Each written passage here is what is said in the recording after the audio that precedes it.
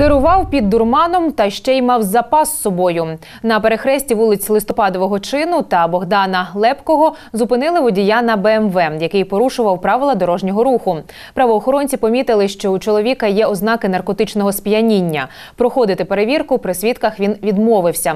Також при поверхневому огляді в нього виявили 12 пакетиків з рослинною речовиною і 9 згортків з білим порошком. Знахідки вилучили та передали на експертизу. Хоча, як зізнався сам порушник, в них була трава, яку чоловік часто курить, а порошок це амфетамін. Далі цією справою займаються слідчі.